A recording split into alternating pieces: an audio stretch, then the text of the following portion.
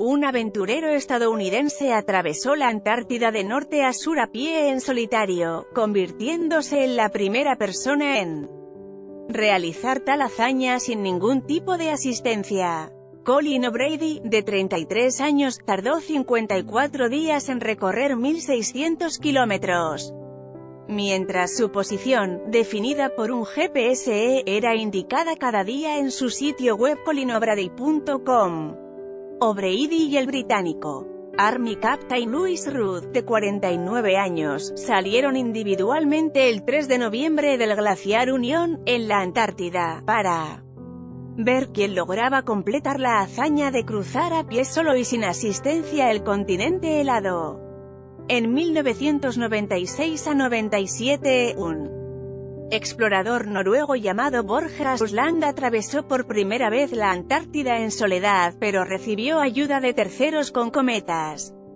A lo largo de su travesía, O'Brady y Ruth, por su parte, utilizaron unos trineos llamados pulks que pesan unos 180 kilos. O'Brady llegó al Polo Sur el 12 de diciembre, el día 40 de su travesía.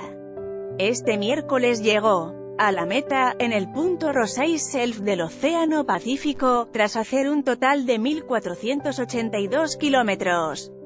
Ruth le sigue a uno o dos días de distancia. O'Brady cubrió los últimos 125 kilómetros en 32 horas tras decidir mientras se hacía el desayuno, hacer la última etapa de un tirón, mientras servía agua para prepararme el desayuno, una pregunta aparentemente imposible surgió en mi mente, escribió O'Brady en Instagram. Me pregunté, ¿sería posible hacer el camino que me queda?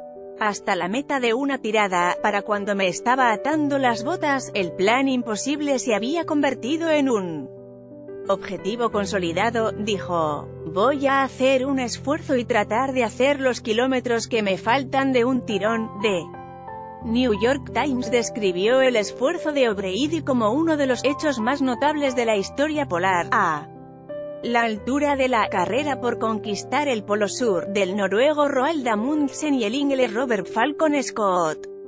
En 1911, en 2016 un oficial del ejército inglés, el teniente coronel Henry Worsley, había intentado realizar la misma proeza pero murió cuando buscaba terminar sin asistencia la travesía.